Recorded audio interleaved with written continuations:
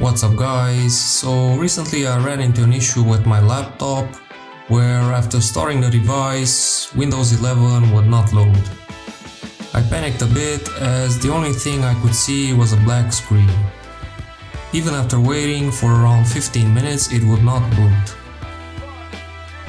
After some research online, I found various suggestions pointing at a graphics driver problem that might be the cause or some other driver that was not loading properly. I tried several hard resets and safe boot mode, but as nothing seemed to work, I went to eat something and left the laptop in this frozen state. When I returned after around 25 minutes, I found the login screen loaded. I immediately entered the BIOS and deactivated the fast boot feature as I figured that this might have prevented one of the drivers from loading.